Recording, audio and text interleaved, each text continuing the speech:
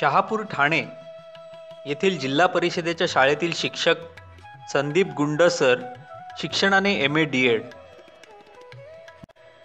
मुलांनी शाळेत आनंदानं यावं आधुनिक पद्धतीनं शिकावं यासाठी त्यांनी त्यांची प्राथमिक शाळा लोकसहभागातून डिजिटल करून घेतली.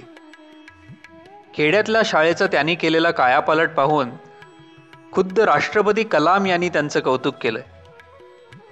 देशभरात त्यांच्या प्रकल्पाचं अनुकरण केलं गेलं. राज्यभरात त्यांनी शंभराहून अधिक कार्यशाळा घेतल्या आणि तीन हजारहून अधिक शाळांना डिजिटल होण्यासाठी प्रशिक्षण दिलं. तिशीच्याही आतील गुंडसरांना राष्ट्रपती प्रणव मुखर्जी यांच्या हस्ते पुरस्कार मिळाला आहे शाळा सौरस्नेही करण्याबद्दल. यशवंतराव चव्हाण प्रतिष्ठानचा यूथ आयकॉन अवॉर्ड आणि अण्णा हजारेंकडून नागरी सन्मान पुरस्कार हेही त्यांनी पटकावले आहेत. तर मग भेटूया एकविसाव्या शतकातल्या या डिजिटल साने गुरुजींना.